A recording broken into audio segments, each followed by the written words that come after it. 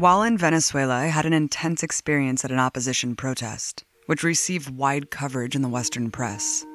So I wanted to see the demonstrations that get virtually no coverage, those by government supporters. The atmosphere was quite different.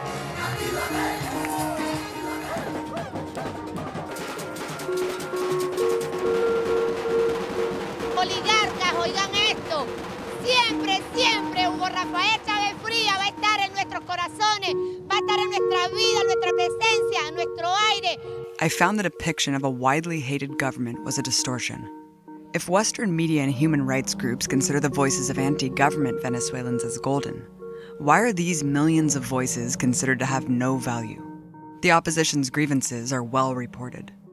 This is a perfect example of how John Oliver is twisting facts in this episode.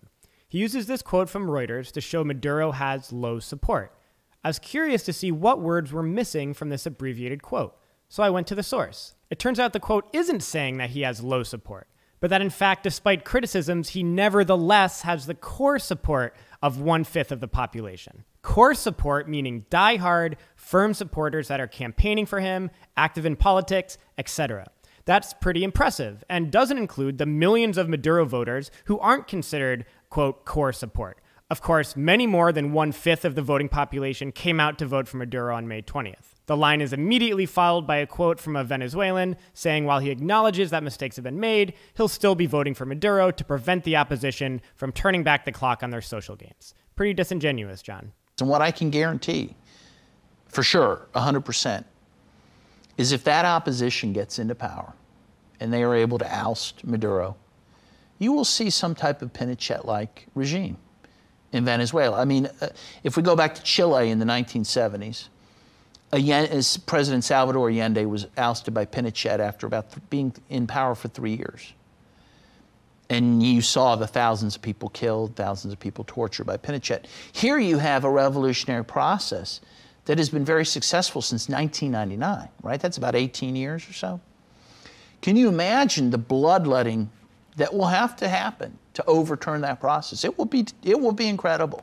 And I think people need to think about that when they think about their relationship with the Venezuelan process. By the way, I'll note in 2002, when the same people who are running the opposition now were successful in the coup against Chavez, they just threw out the Constitution. They didn't bother having the nicety of a constituent assembly, uh, which people have to remember when they hear them you know, complain about democracy. Since Chavez's death and since the price of oil has plummeted, the social programs have advanced and the social programs have been maintained. For example, since Chavez's death and since the plummeting of oil prices, free quality healthcare has expanded to more of the country, making it available to people in historically uh, left behind and impoverished areas, in particular indigenous areas in the Amazons and so forth, causing the United Nations Program for Development to place Venezuela among the countries with the highest human development index in the world and surpassing most Latin American countries. Since Chavez's death and under Maduro, they reached the goal of building over 2 million new quality housing units for the poor, this is a massive feat in a very short period of time, and it's still moving forward, building about 500,000 new homes a year. And now, today, Venezuela has the second lowest rate of homelessness in all of Latin America. How do the sanctions compare to the aid that is being offered? Yeah, the aid is tiny compared to what the sanctions the billions of dollars that are, are lost to the economy. Leading Venezuelan economist is warning of a famine in Venezuela as a result of U.S. sanctions. In a new report, Francisco Rodriguez says U.S. sanctions have crippled Venezuela's oil sector, costing Venezuela about $16.9 billion per year.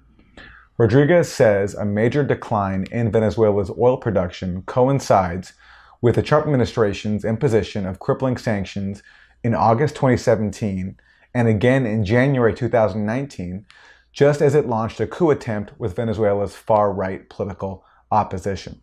It's, it, this is all a stunt, no, for the public opinion, public relations. I mean, if your um, unilateral coercive measures, so-called sanctions, are having an impact in our economy that has cost more than 23 billion with B billion dollars, no? How can you're telling us that you're going to send 20 million dollars of what? That is maybe what the restaurants in Caracas need for three days. I mean, that is all a spectacle, that is a show for the public opinion. That is only for CNN to broadcast live and CBS and Fox News and the right wing media all over Latin America and Europe. But the reality is that we, if, if there were, they, they, the United States unblocks our economy, if they waive the sanctions, we have enough resources as to satisfy and over satisfy the needs of our people. With regard to the current situation, uh, Obama really set the stage with that uh, executive order that you mentioned. Um, and then he created a list of people who are sanctioned, and Trump play, you know, built on that. So now, I don't know how many 60, 70 members of the Maduro government are being sanctioned. Now, that, but, the, but the sanctions go even beyond that, so that, like, to be able to buy a dialysis machine, you have to use a U.S. bank to to, to move your right. money, but if the bank says, well, you're being sanctioned, we can't buy the dialysis machine, which may not affect those 60 people, it's affecting 15,000 people that right. need, the machine. So right. the, the, sanctions, I'm not sure the technicalities of how they're applied, but well, can't get penicillin, can't get cancer yeah. drugs, can't get, I mean, that's part of the sanction regime. Yeah, I, will tell you how, how it's applied. Uh, the, one of the sanctions says that the U.S financial institutions uh, cannot purchase uh, bonds from the Venezuelan government. So the Venezuelan government cannot refinance okay. its debt. Now, it also affects all kinds of transactions because transactions are in dollars. The world economy is in dollars. So everything goes through U.S. banks. And when Steven Mnuchin, the Secretary of the Treasury, uh, says we're going to track down the funds, the hidden funds, the hidden accounts the shells, that's the term that's used, um, that creates a sensation that we don't know who's who, so let's not do business with Venezuela. Anybody, right. So Venezuela, in effect, is being, there's a, a boycott. Uh, Venezuela is a nation, and that's affecting the economy in a big way. Venezuela had succeeded in uh, bringing uh, millions and millions of Venezuelans out of extreme poverty. Nobody cared in the 1980s and 90s that there were millions of Venezuelans dying of hunger and malnutrition. No one cared. It's, it, it was a government that was palatable to Washington and a government that was a right wing government. The moment that a left wing government came in power, uh, priority number one in Washington was to topple it. Part of the reason that socialism and socialist parties, which by the way are part of the government in Portugal today, part of the government in the Netherlands today, part of the government in, the, in Germany, the part of the reason socialism has worked quite well in those countries is because they're not surrounded by enemies trying to undo them every five minutes. Mm -hmm. They're big, they're powerful, and they don't have those enemies. Cuba is 90 miles from the United States, and from day one was surrounded by somebody much more powerful who was interested interested in disappearing them. That doesn't excuse the mistakes and the terrible things that did happen there, yeah. but it helps you understand why one society has a different experience than another. Socialism means different things to different people. It's not a monolith any more than capitalism is. If I judged capitalism by what you have in Saudi Arabia or the Philippines or some other horrible example, you'd push back and you'd be right. That's not fair. la gente tiene libre tránsito, la gente hace lo que quiere, participa participa, habla, incluso hasta están quemando el país, sectores de los terroristas de la derecha fascista. Ellos incluso están quemando el país, están, han hecho actos vandálicos, actos terroristas y no se les ha aplicado la ley con esa fuerza como se hace por lo menos en Estados Unidos, en Europa. Esas personas andan por ahí haciendo lo que quieren. Aquí las personas tienen libre albedrío, libre forma de pensar, de creer, libre que, de creer lo político, lo económico, lo social, lo cultural, lo religioso. El que diga que una dictadura está completamente desquiciado. ¿En qué estado de, de dictadura es ese que hay elecciones, que participa la gente, que la gente hace lo que quiere. Eso es completamente ilógico. Este, yo soy una joven 100% revolucionaria, chavista, y creo que lo que están haciendo del lado de, de la derecha, los opositores, no me parece porque creo que los problemas no se resuelven así como lo están haciendo ella de manera violenta, eh, ocasionando un caos en las calles de Venezuela, en las calles de Caracas, este, haciendo, atacando a nuestro, a nuestros defensores, a las policías, a las guardias nacionales, creo que eso... Most chilling was the lynching of 21 year old Orlando Figueroa, who was brutally beaten, stabbed, and burned alive by opposition protesters. According to an interview with Orlando in the hospital, they yelled, Hey, black guy, see what happens to Chavistas, before throwing a Molotov cocktail on him and lighting him aflame. Orlando died from his injuries just days later. At least four other people have been set on fire but lived, allegedly for being Chavistas. Out of the seven papers, four are anti government, two are pro government, and one is neutral, to go either way. So it looks like the press is not as controlled as we think. The next day, I even saw a different paper with the most outrageous headline of all Trump must take care of Maduro. Television ownership is similar to print media. What do we know about uh, these uh, funds being funneled to Guaido? Well, it's all illegal, of course. I mean, the sanctions that Trump imposed in uh, August of 2017, or you can go back further to the Obama sanctions in March of 2015. These sanctions have always been illegal under the OAS Charter, under the UN Charter, under uh, the treaties that uh, the U.S. has, various international conventions that the U.S. is a, a party to, and also under U.S. law because the president has to state in order to impose these sanctions in the executive orders uh, going back to uh, 2015, both Obama and uh, Trump have had to say that the under our law that Venezuela poses an unusual and extraordinary threat to the national security of the United States, which everyone knows is false. And so, on that basis, it's really not even legal under US law because the president is stating something false uh, in order to comply with the law. This is normal U.S. right wing foreign policy, nothing different. Uh, this is uh, the same foreign policy that we saw uh, throughout uh, Latin America uh, in the 20th century. It's the same foreign policy that we saw catastrophically in the Middle East. This is Mr. Bolton. This is Mr. Bolton's idea of diplomacy. Uh, this is Trump's idea of diplomacy. You punch someone in the face, you crush your opponent, you try whatever way you can to get your way. It's very simple minded, it's very crude, and it Amy, it, it never works. It just leads to catastrophe. When I was a cadet, what's the first? What's the cadet motto at West Point? You will not lie, cheat, or steal, or tolerate those who do. Mm. I, I, I, was the CI director. We lied, we cheated, we steal, stole. It's, it was like we, we had we had entire we had entire training courses. Uh, it, uh, it, it, it, reminds you of the uh, uh, the glory of the American experiment. If you're finding yourself on the same side as Trump, Nikki Haley, and their political equivalents in Venezuela, uh, you have to re examine your position.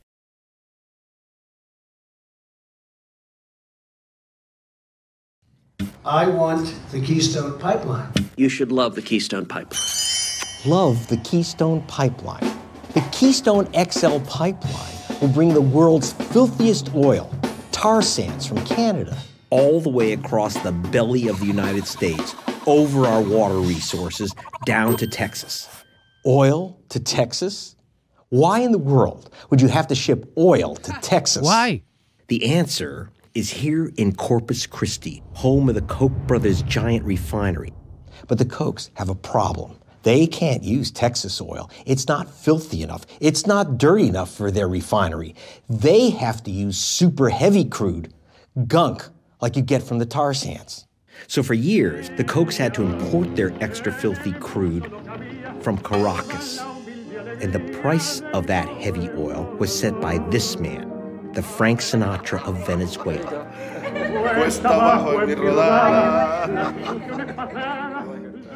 Years ago, President Hugo Chavez told me Venezuela, with the world's biggest reserve of oil, would really stick it to U.S. customers like the Kochs. Do them. Okay. Okay. D- wh- first of all, eye popping stuff, right? Didn't know that he had to imp- import stuff from Venezuela. Didn't know he had to import the dirty crude from Venezuela. Did not know that that this was had to do with the Koch brothers.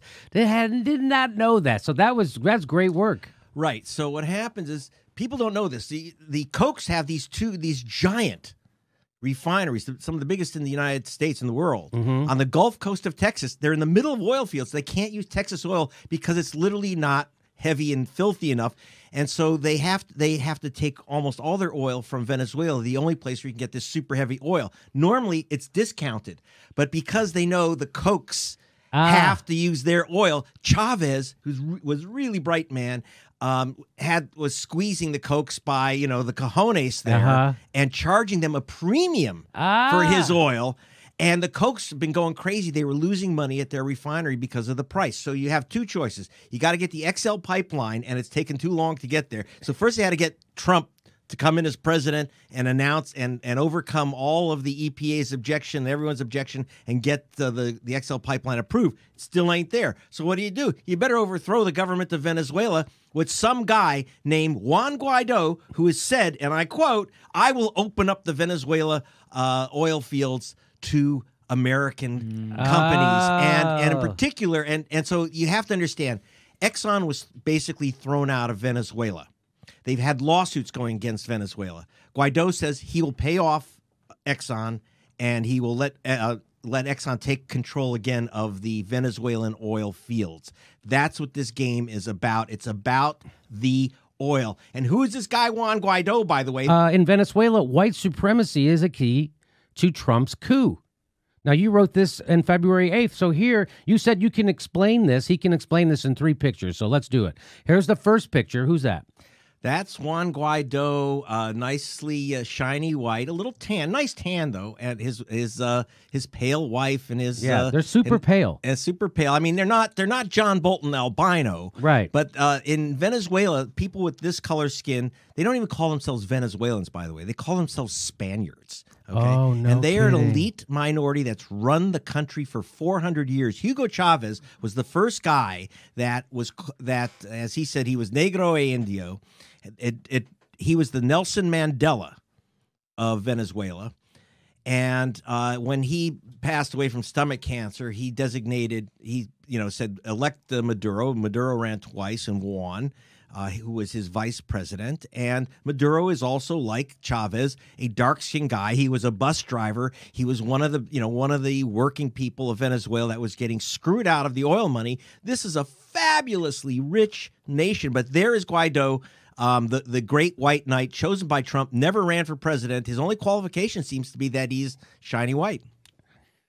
Here's another picture. Tell people what this picture is. Okay, if you think that this is the meeting of a re, of the Republican Party at the Mar, uh, Mar-a-Lago, Mar-a-Lago. uh, no, that is the Venezuelan opposition. Those are the deputies, the members of the Venezuelan Assembly, who are pro Guaido, and as you see, they are lily white.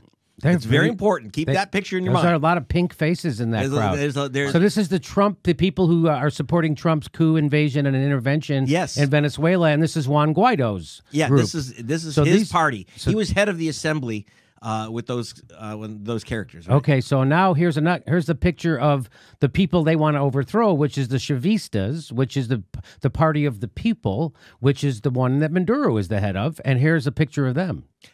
You see the difference? Look at the difference. So you see white. Wait a minute. There's black. There you go. White. Right. Dark. This is not done by Jimmy Dore's tricky filter business. No. Uh, it, it, it now this looks like a meeting of you know the NAACP in Birmingham. I've been to a meeting of the NAACP in Birmingham. Wow, it really does, And actually. um, Look at that. So now what that looks like is the Venezuelan people. It's a, first of all the opposition was about 60 members of parliament of their Congress and their National Assembly. This is their uh, Chamber of Deputies. This is about 120 members, and that's about the division in the nation. It's about one third white and and uh, two thirds mestizo, black, indigenous uh, voters of color, and poor people.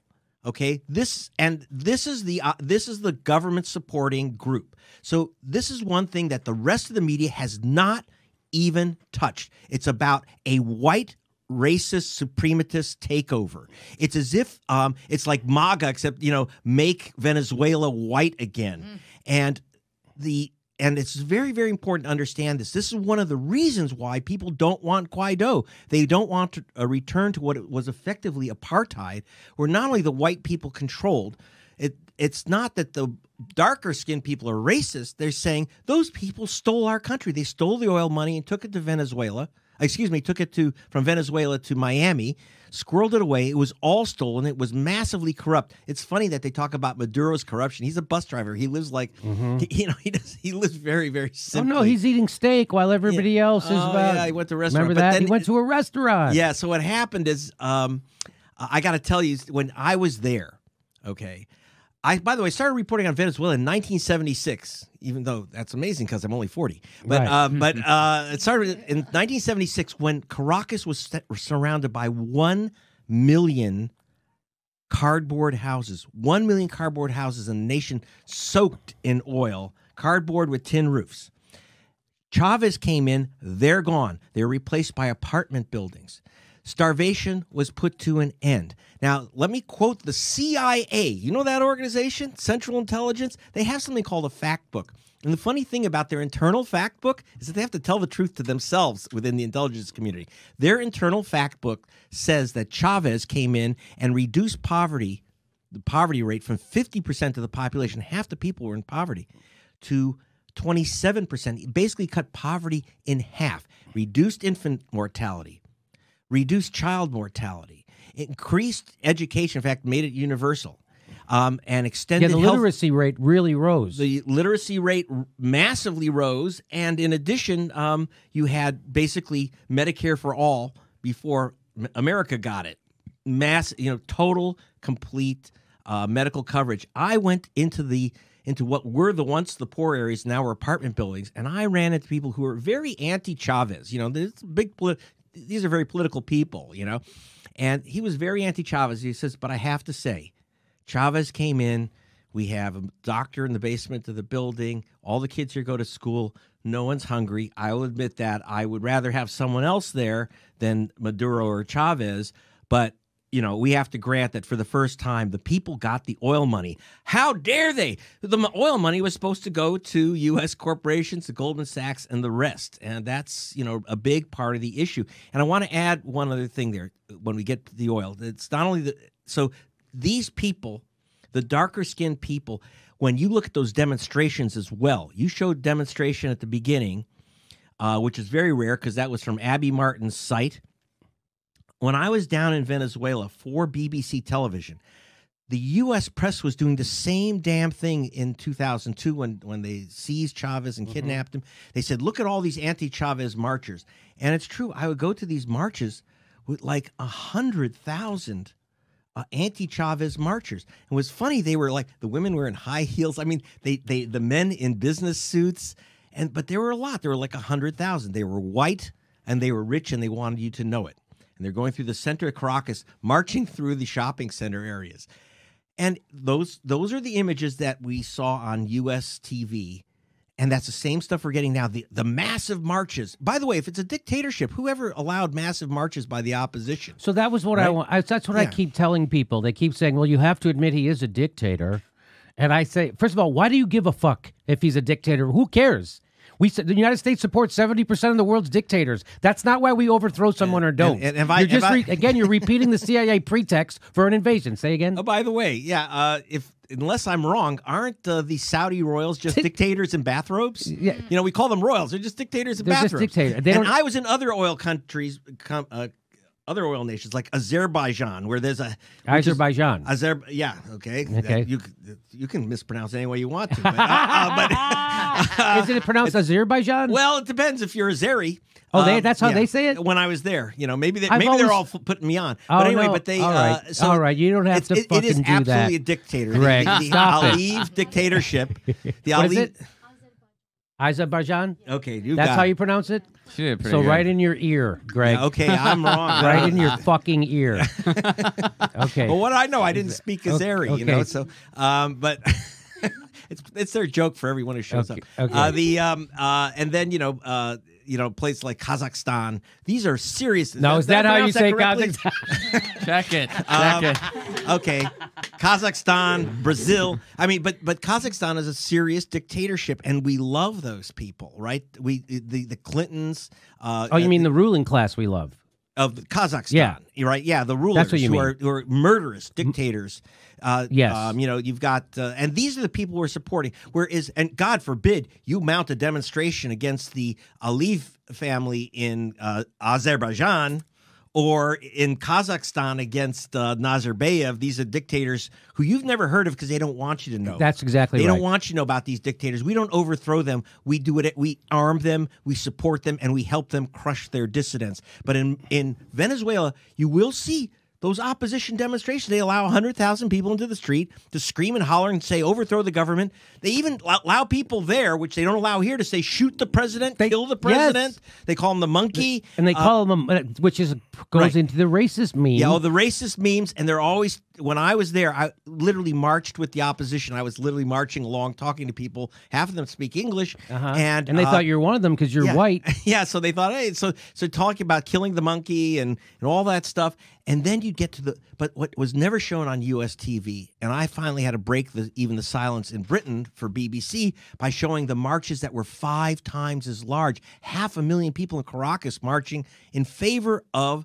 the government, and those groups, those are people in jeans and t-shirts, and mm-hmm. and they are dark skinned almost to a one and that is something that they don't show you you saw you saw, saw abby martin's picture i mean it was it's as far as the eye can see. You can these demonstrations and counter demonstrations it is a thriving unfortunately a bit violent democracy. Both sides everyone in venezuela has a gun and there's a bit too much shooting not a bit too much any shooting is terrible. Yeah. but uh, the idea that there's a dictatorship and and uh, Maduro's gunning down his own people, you have to understand the anti-Maduro people are shooting people. Okay, Yes, They- so they- that that's what people don't understand is that most of the violence is coming from the opposition. It was the opposition that was intimidating people and attacking people who wanted to vote Can and attacking imagine? voting centers. It was the opposition who wanted to make the election illegitimate because they knew they couldn't win. Right. So, the, so what happens? You have this white minority that if you have an election, it's just like South Africa. Yeah. If you have a real election, Yeah, they're who's going to win? That's it's right. not going to be a white guy. Ain't gonna be the white guy. Okay. Ain't gonna be fucking Juan Guaido. And it's certainly not going to be a guy who says he's working with the oil companies, loves the oil companies. That's right.